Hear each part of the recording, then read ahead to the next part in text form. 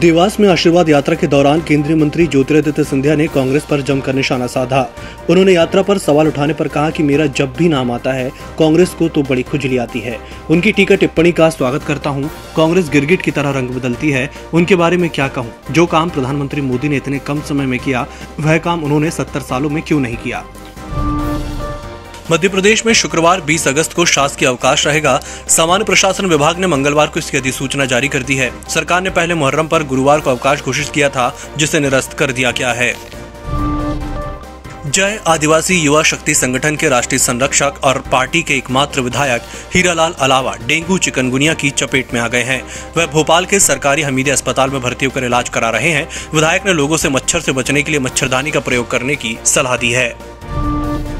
बड़वानी की सेंधवा विधानसभा से कांग्रेस एमएलए ग्यारसिया लाल रावत पर पुलिस ने शासकीय कार में बाधा, मारपीट और गाली गलौज का मामला दर्ज किया है। आरोप है कि रिज़र्व वन क्षेत्र में रेत का अवैध खनन किया जा रहा था। कार्रवाई करने पहुँचे रेंजर और बीट गार्ड के साथ एमएलए और ड्राइवर ने मारपीट कर दी। मध्य प्रदेश के पूर्व सीएम और कांग्रेस सांसद दिग्विजय सिंह ने कहा कि लोकतंत्र खतरे में है और मोदी शाह सरकार के मंत्री आशीर्वाद यात्रा निकाल रहे हैं। किस बात का आशीर्वाद? देश को बर्बाद करने का आशीर्वाद यात्रा नहीं है, ये चंदा वसूली यात्रा है, इसका देश में विरोध होना चाहिए।